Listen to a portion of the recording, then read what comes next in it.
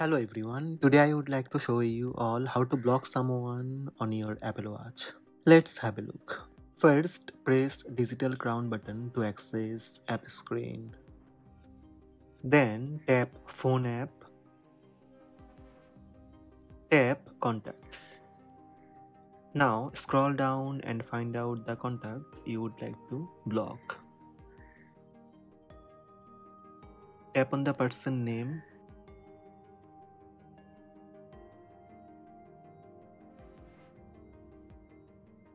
Then scroll up and tap block contact.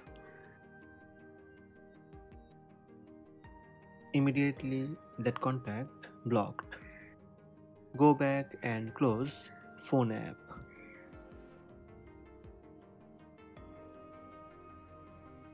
If you would like to unblock someone on Apple Watch, similarly open phone app, then tap contacts Search for the name you block.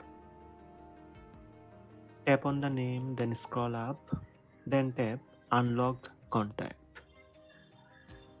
So these are the steps to block and unblock someone on Apple Watch.